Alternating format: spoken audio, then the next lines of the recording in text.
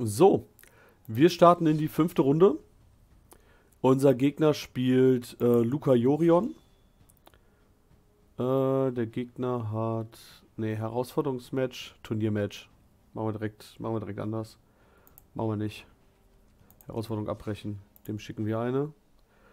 Bei Herausforderungsmatch läuft, glaube ich, keine Zeit. Wir spielen Turniermatch. Will jetzt nur auf Nummer sich, sicher gehen, hab da keine Lust auf Bullshit. So, wir spielen gegen Jorion, Luca. Deckliste ist ja einsehbar. Wir stehen 3-1 im Turnier. Theoretisch kann man mit äh, 6-2 noch reinkommen, auch wenn die Chancen nicht so gut sind. Also spielen wir bis 3 Losses. Und sollte das erreicht sein, ähm, würden wir droppen, aber wir sind jetzt auch schon in Runde 5, also gucken wir mal. Kleine Lags.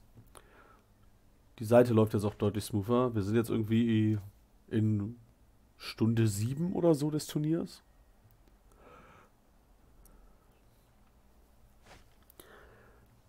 Oh, Gegner zuerst. Ich mag die Hand. Es ist halt mega risky, ne, mit dem Land.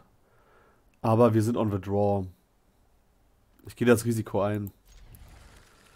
Einfach weil ich glaube, dass Zenit hier super gut ist. Ähm, ich guck mal wieder hier nebenan in die Liste. Was sagen Counterspells ist, aber die Variante hat nicht so viel Counterspells und so. Das bedeutet, dass äh, Zenit ultra gut ist. Ui, warum ist das jetzt alles so laggy hier? Können wir irgendwas im Hintergrund ausmachen?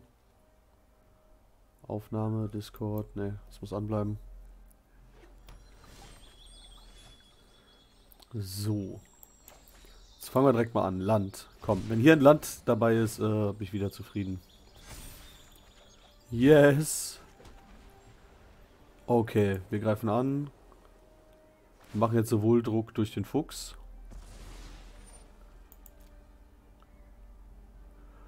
Als auch durch die Zenite, die später kommen. Aber auch die Feuerstecherin ist schön.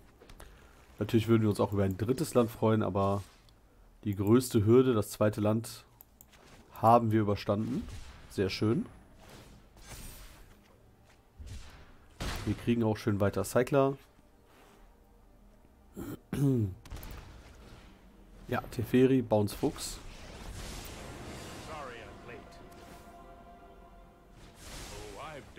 Oh, mich nervt, dass das ein bisschen hängt. Hm. Wir wollen auf jeden Fall mindestens einmal cyclen, um Länder zu finden. Deswegen legen wir erneut den... Ups. Fast verklickt. Legen wir erneut den Fuchs raus, cyclen den Hinterhalt, ziehen ein Land. Komm. Ah, auf Ansage. Auf Ansage. Ähm... Ja, wir haben keinen Grund jetzt zu cyclen. Können wir später machen. Round timer started. Nice. Round timer. Hat angefangen. Ich vermute mal, dass wir hier sogar Teferi ignorieren und einfach ins Gesicht angreifen. Hat der... Ja, der hat Mainboard viermal Shatter the Sky. Okay. Das bedeutet tapferer Retter und so ist jetzt hier nicht so geil. Wir können aber trotzdem Feuerstecherin legen. Angreifen, cyclen. Dann würden wir halt auch mindestens eine Karte nachziehen und wir kriegen genug für Zenit. Also unsere eigentliche Wincon ist der Zenit. Wenn wir jetzt hier noch eine Runde lang Schaden durchdrücken, ist das gut für uns.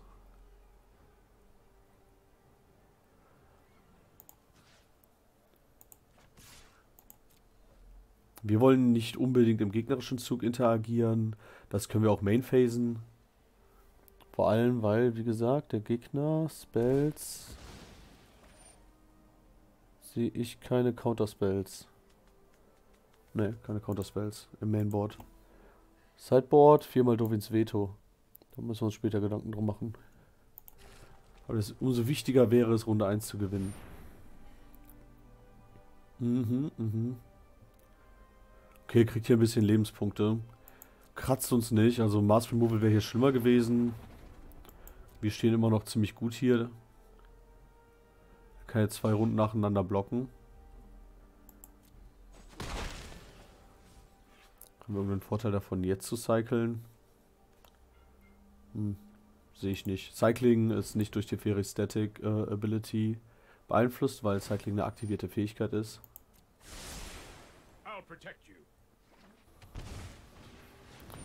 Ja, Luca. Hm. Können wir nichts gegen machen. Hier kriegen wir einen Agent of Treachery ab.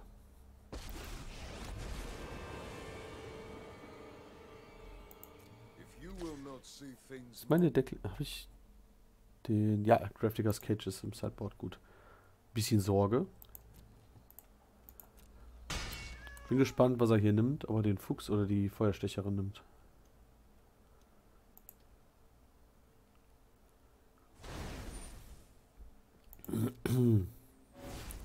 Also wer es noch nicht kennt, der opfert jetzt einen Token und findet die einzige Kreatur im Deck. Nimmt die Feuerstecherin. Okay, wir werden auf jeden Fall jetzt cyclen.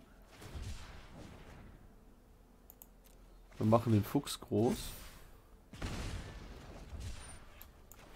Machen noch ein bisschen Schaden ins Gesicht. Schön, dass wir hier übrigens noch einen Cycler gezogen haben.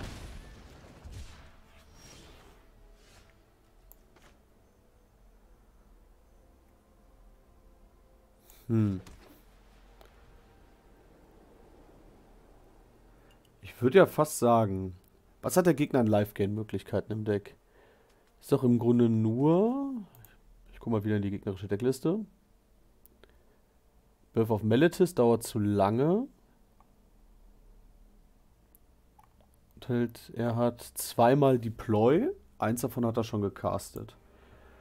Ja, dann würde ich fast sagen, wir greifen erstmal an.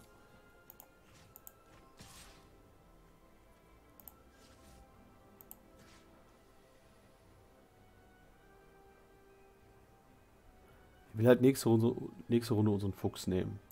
Notfalls mit Jorion, aber das ist uns halt scheißegal, wenn wir ihm einfach zwei Zenite vor den Latz knallen. Ich bin mir nicht sicher, ob das die richtige Attack war. Okay.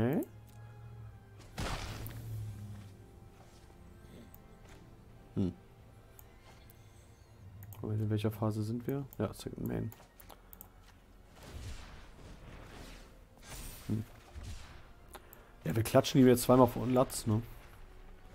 Es ist egal, ob er unseren Fuchs klaut. Er hat keine Counterspells. Ich sehe nicht, wie er uns jetzt hier groß krumm kommt. Ja, zwei Schaden nehmen wir. Immer Sorge, was zu über... Ich habe immer Sorge, etwas zu übernehmen. Äh, oh. Ich kann auch nicht reden, weil es schon so lange ist. Ich habe immer Sorge, etwas zu übersehen. Er hat uns ein Land genommen. Gut, er könnte uns jetzt noch ein Land nehmen, ist aber auch egal, weil wir noch ein Gebirge auf der Hand haben. Also er könnte Jorion spielen, Agent des Verrates, unser Gebirge nehmen. Ich glaube, es war einfach schlecht von ihm, mit Agent des Verrates zu blocken.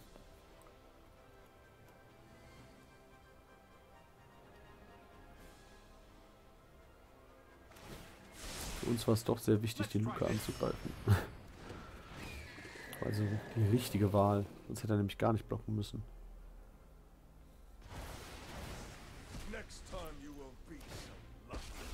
Ja. Gut, er hat, er hat sein Out gespielt, er hat gehofft, dass wir kein Land haben. Ähm, und wir haben gewonnen. Gutes Spiel, kriegt er zurück. Also da hat man gesehen, der Gegner hat sich Gedanken darum gemacht, was wir auf der Hand haben könnten. Er hat den zweiten Zenit kommen sehen und hat halt probiert, zwei unserer Länder wegzunehmen, und, um uns zu Mana screwen. Das hat nicht geklappt, äh, weil wir glücklicherweise noch eins hatten. Hätte aber genauso gut klappen können. Ähm, wir packen auf jeden Fall Käfig des Totengräbers rein. Der sorgt nämlich dafür, dass Luca den Agenten nicht mehr aus dem Deck holen kann. Ich werfe mal einen Blick ins gegnerische Sideboard. Dovins Veto, Glass Casket, Degree, Tree trifft uns nicht wirklich. Dream Trawler, Laser Tap Plating. Ja, die Counterspells ähm, sind wieder relevant. Ist nicht wirklich. Also Glass Casket, da hilft uns Zusammenkämpfen nicht gegen. Können mal noch einmal Licht der Hoffnung gegen Enchantments reinpacken. Und wir cutten dafür ein paar der Cycler, drei Stück. Wie gesagt, sehr viel mehr Karten will ich eigentlich nie reintun. Denn wir brauchen die ganzen Cycler nun mal.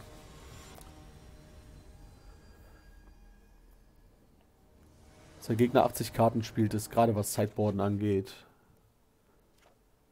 Für den schwierig. Das ist schon mal schön. Den wollen wir nicht Turn... Na gut, wir haben Turn 1 nichts anderes zu tun. Normalerweise müssen wir den Turn 1 nicht legen. Was macht Glass Casket? Nur Kreaturen, oder? Jo. Ich sehe jetzt auf Anhieb nicht, wie er den los wird. Deswegen würde ich sagen, wir droppen den Turn 1, legen Turn 2 und Turn 3 Feuerstecherin und probieren erstmal darüber zu gewinnen. Also den Gegner hier langsam tot zu cyclen, darüber. Ähm, durch Zenit des Leuchtfeuers muss der Gegner außerdem aufpassen, dass er seine Counterspells, wenn er sie denn hat, aufhält. Ich sehe kein Deafening Clarion in der Liste, sondern nur vier Shatter the Sky und auch keinen im Sideboard. Wäre schön, wenn wir ein Land top decken. Na gut, Feri hätte ich denken können. Der wirft uns hier ein bisschen zurück, aber ich glaube, es ist trotzdem noch die richtige Strategie.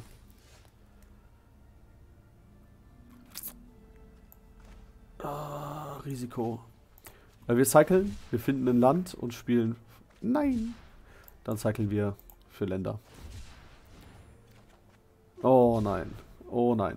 Oh nein, oh nein, oh nein, oh nein.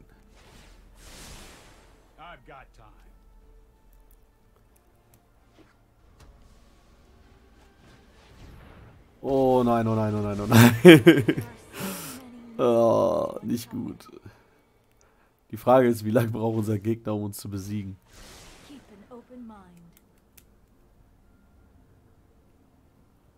Weil die Jorion-Decks dümpeln eine ganze Weile rum. Vor allem diese Variante. Ja, komm, wir, probi wir probieren es mit den Feuerstecherinnen. Aber beide sind hart.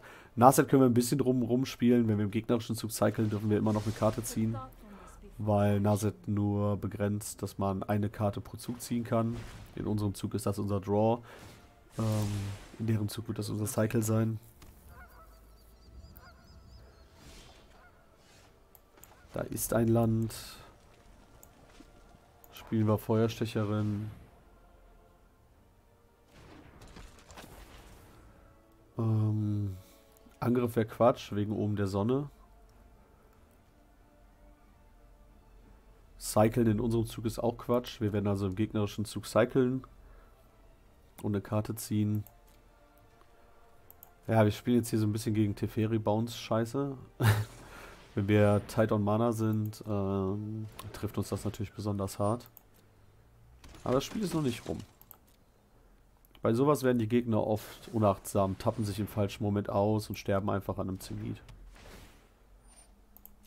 Je nachdem, von wo unser Gegner kommt. Müsste der vielleicht auch um 2 Uhr morgens spielen. Also, wir spielen das aus.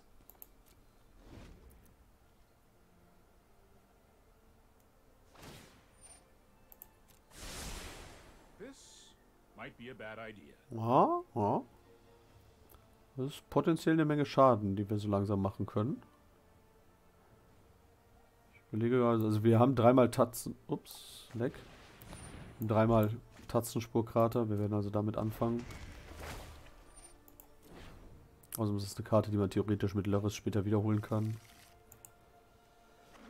Käfig des Totengräbers sorgt dafür, dass sich das Match ziemlich in die Länge ziehen wird. Äh, ja. Äh, wir machen vorher nochmal zwei Schadenspunkte.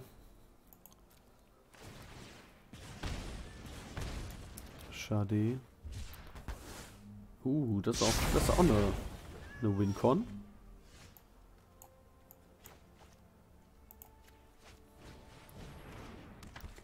Spielen wir aus, gehen wir weiter.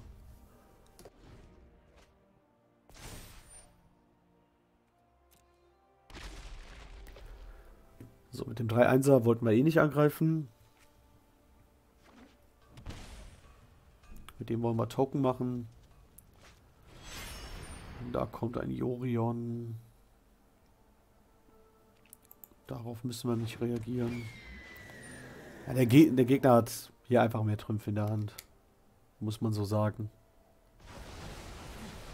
Aber ich weigere mich hier aufzugeben. Vor allem, wenn man danach irgendwie eine Stunde Wartezeit hat. Da kann man das auch in Ruhe ausspielen. Ja, macht der Teferi Jorion oder was? Für Value. Jo. Teferi Jorion für Value. Was? Aber auch... Ah, nee, nee. Wer kriegt ja ins Einsatz? Ich wollte gerade sagen, nach aktuellem Board würden wir dann äh, Teferi töten können. Er kriegt aber hier zwei 1-1er. Und noch eine Mauer, ne? Ne, eine Ebene. Ein paar Lebenspunkte. Oh, das Ding gibt Lebenspunkte. Auch relevant.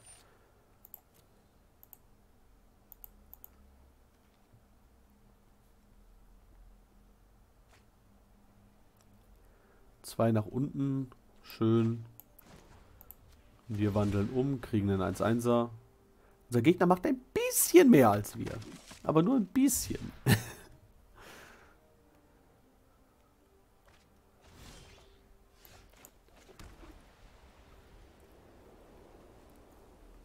hm. Ich glaube, wir wollen das Maximum an, an, an 1-1ern generieren. Also vermutlich diese Runde cyclen, obwohl wir keine Karte daraus kriegen, oder?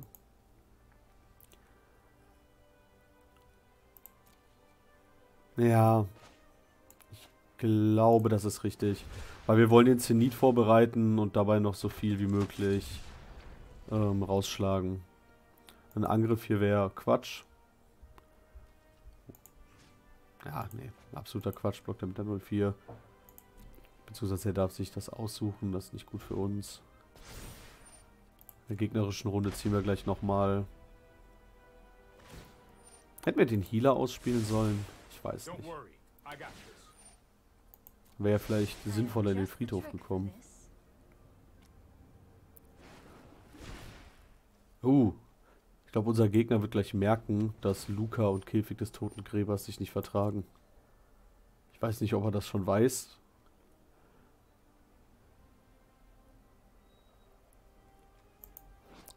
Spieler können keine Zaubersprüche aus Friedhöfen oder Bibliotheken wirken. Am relevantesten ist hier Bibliotheken. Ja, spielt er den für seinen Plus 1? Oder... Ja, schade. No.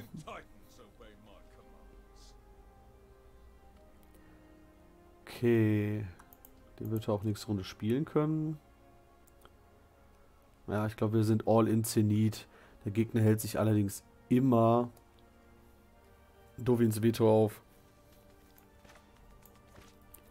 Schon auffällig. Geh nach Blut, kämpft nur gegen Kreaturen, ne? Ja.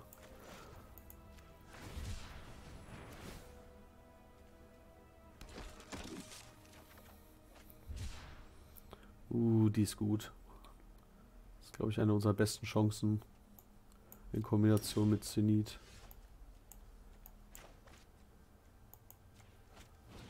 Wir werden auch hier wieder einen cyclen für 1-1er. Und einen Schadenspunkt. Auf der sollte äh, jedem Spieler und jedem Planeswalker stehen. so, wir haben drei Attacker.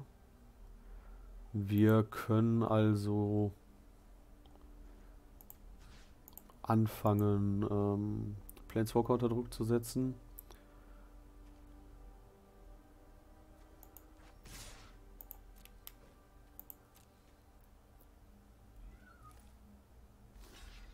Natürlich eine ganze Weile dauern, bis wir da durchkommen.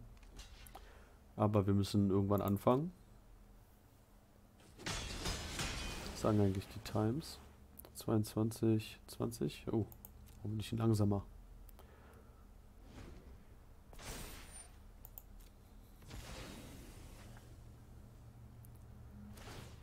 Der Gegner hat fast sicher einen Dovins Veto in der Hand.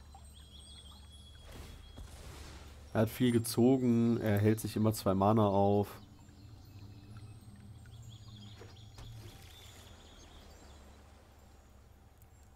Er hat sich da bisher auch keine Blöße gegeben. Nicht, dass wir sie bisher ausnutzen könnten. Sakrales Dekret. Hat er echt reingebaut gegen uns? Krass. Da respektet er aber die Feuerstecherin. Oder ist das wegen Lyrris? Hm. Wir cyclen Healer, ziehen unsere Karte. Fügen einen Schadenspunkt zu, kriegen einen 1-1er. Zweiter Retter wäre wär ganz gut, also als Alternative. Fuchs. Fuchs plus Krater. Ist auf Dauer eine Option. Hellsicht ein oben.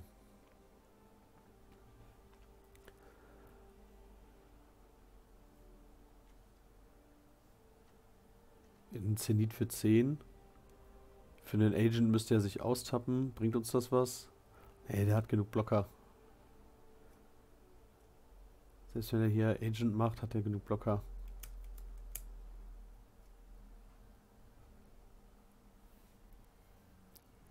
Wohl, also wenn er sich austappt, sollten wir vermutlich Zenit machen, einfach weil wir es können.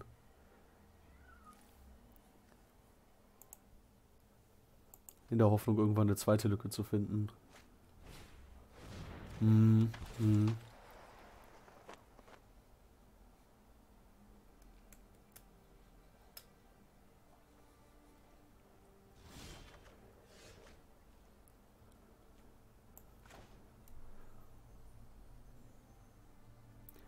Ja, wir Zeniten ihm ins Gesicht.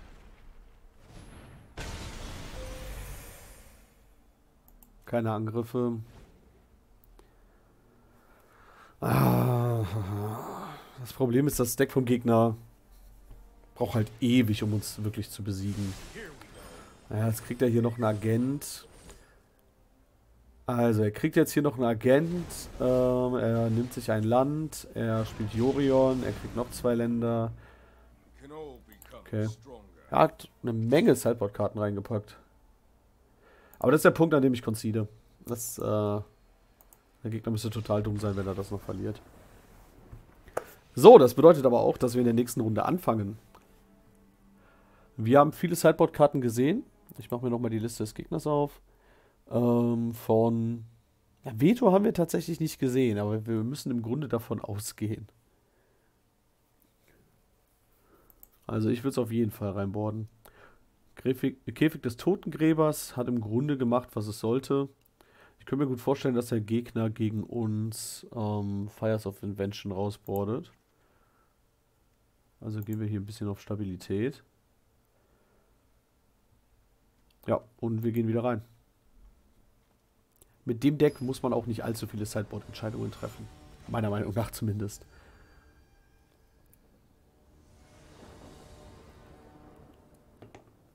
Wir wollen definitiv zuerst spielen. Okay, ja. Ja, wir, wir spielen das Fuchsspiel. On the play kommt der Teferi auch verhältnismäßig spät. Dann können wir damit schon eine Menge Schaden gemacht haben. Bottom. Yes. Definitiv.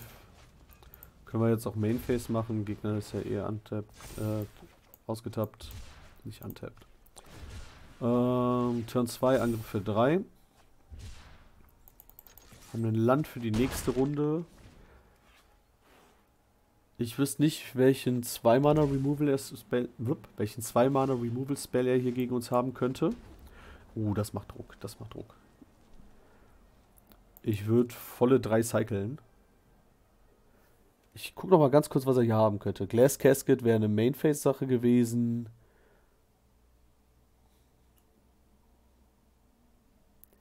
Ne, ich sehe da nichts. Warum, warum hat er den Untap kommen lassen? Doch sicherlich nicht, um den Dovins Veto zu casten. Warum hat er den Untapped kommen lassen? Das sind zwei Lebenspunkte. Vielleicht wieder ein Chuck. Er könnte die Pose, aber dafür ist schon zu spät. Hm. Also bin wahrscheinlich gerade blind, weil es muss ja irgendeinen Grund haben, warum er das tut. Ich kann ihn aber in seiner Deckliste, kann ich den Grund dafür nicht finden.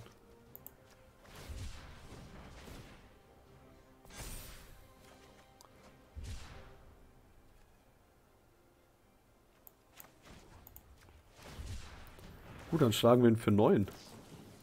Oh, ach so, um des Meeres. Ja. Hm. Ja. Das, äh, manchmal sieht man den Wald vor lauter Bäumen nicht. Zweimal unten übrigens. Was dafür spricht, dass der Gegner hier ein bisschen verzweifelt ist. Wenn er jetzt hier nichts Gutes hat, könnten wir einfach schon gewinnen. Uh. Das ist ein Win, oder? Das ist ein Win. Nice. Äh, wir könnten entweder dreimal... Ne, wir gehen auf jeden Fall erstmal in den Combat Step, weil er könnte Deploy haben. Oh, okay. nah dran. Sehr nah dran. Ja, okay. Ähm, dann spielen wir Feuerstecherin. Und halten uns bereit, zweimal zu cyclen. Landrop haben wir gemacht. So, dann kann der Gegner eigentlich sein Board mit den wenigen Mana nicht mehr advancen, ohne sich eine Blöße auf Zenit zu geben. Und Zenit sieht hier ziemlich lethal aus. Ja, hat vier Länder, Zerschmetterung des Himmels. Äh, ich glaube, Zenit ist damit lethal. Also ziemlich, ziemlich safe. Ja. Good game. Ja, da konnten wir unseren Tempo-Vorteil nutzen. Der Gegner hat sicherlich einen Haufen guter Karten gegen uns, aber das ist egal, wenn wir ihm so früh so viel Schaden machen. Ähm, der Gegner ist ausgetappt, wir legen Zenit des Leuchtfeuers und äh, stehen 4-1 im Red Bull Untapped Qualifier. Hey, damit wird, wird Tag 2 ziemlich greifbar. Yay!